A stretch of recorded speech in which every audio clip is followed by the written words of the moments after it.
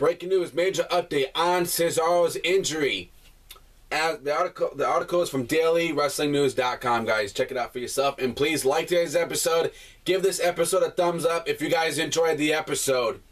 As noted, Cesaro was with John Cena as he went in for surgery in Birmingham, Alabama on Thursday. While the two are good friends and workout partners, PW Insider notes that Cesaro was there getting progress for his own shoulder injury elevated. Now, Cesaro has been working out regularly at the WWE Performance Center in Atlanta, Florida as of late. Well, there you go, guys. There's a big, huge update on Antonio Cesaro. I love Cesaro, man.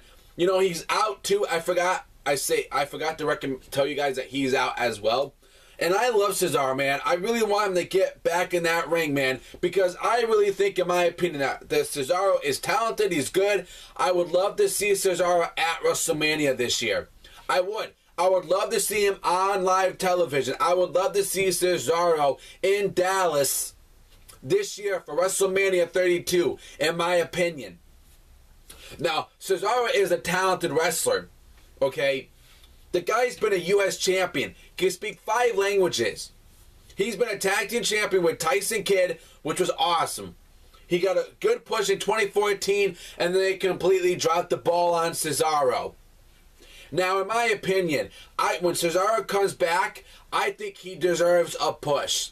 I think Cesaro needs to be pushed. I think Vince McMahon needs to shut up and let Triple H push Antonio Cesaro.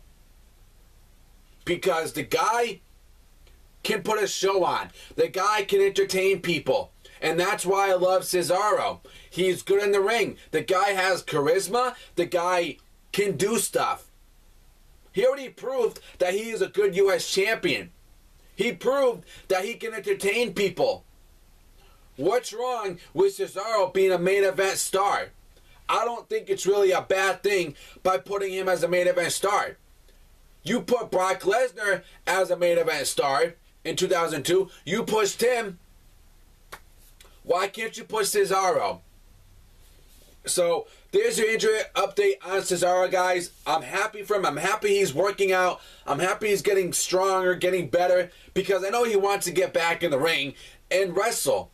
He wants to entertain you guys and entertain me as well because we're Cesaro fans and we want him to come back.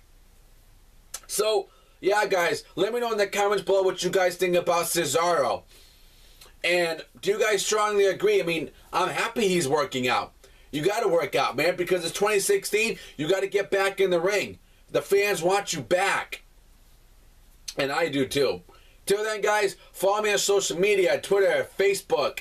Links are down below for you guys. And subscribe to this show to get more coverage on all your wrestling news and WWE news as well, guys. Thank you all for tuning in and coming out and hanging out with me here on the show. Until then, tune in to the next show. Subscribe.